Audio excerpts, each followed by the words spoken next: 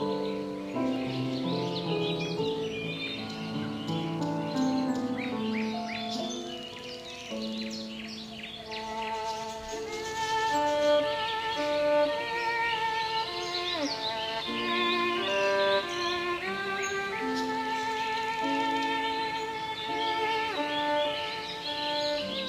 möchten nicht, dass die Verbrechen der Nationalsozialisten in Vergessenheit geraten.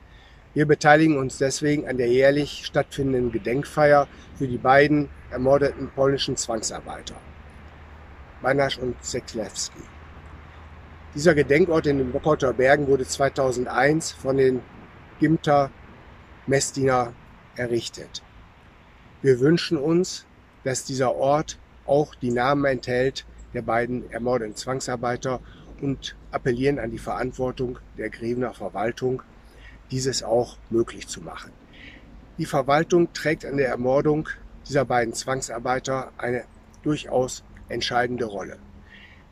1942 wurde vom Amt Greven der Galgen gebaut und auf Grevener Gebiet wurde die Hinrichtung in Anwesenheit äh, hoher Verwaltungsbeamter durchgeführt. Deswegen halten wir es für sinnvoll, dass die Stadt Greven ein Zeichen setzt und an diesem Ort auch eine Stele errichtet, die die beiden Namen der Ermordeten enthält.